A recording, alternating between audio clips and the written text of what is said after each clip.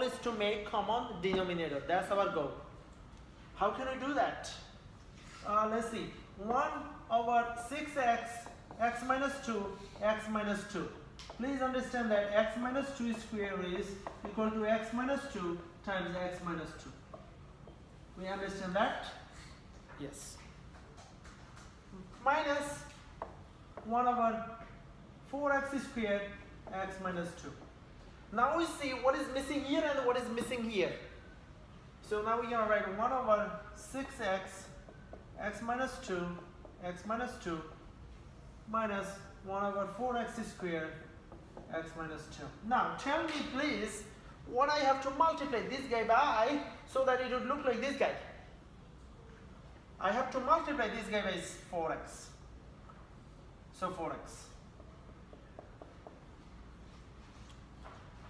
I have to multiply this guy by 6, 6.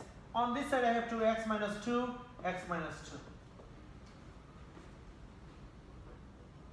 Does that type, does does that, that that algebraic technique make sense to everyone? Okay. So if it does make sense, then uh, then we can uh, then we can solve it. 24 x square x minus 2 x minus 2 minus 6x minus 12 over 24x square x minus 2 x minus 2 do we have common denominator now? Yes.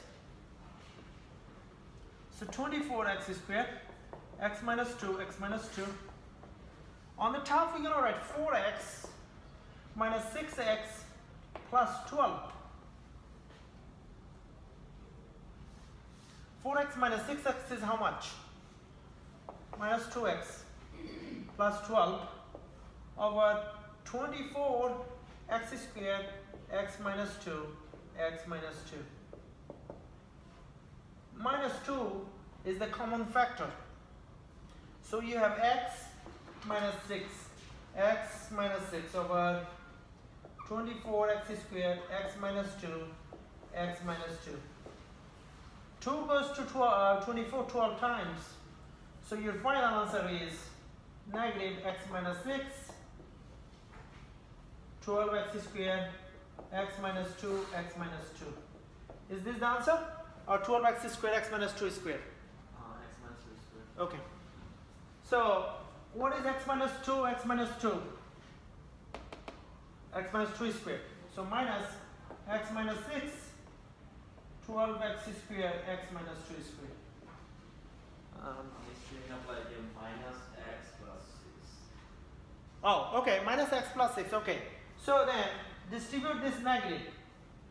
So if you distribute this negative, you get minus x, minus minus, Plus. plus.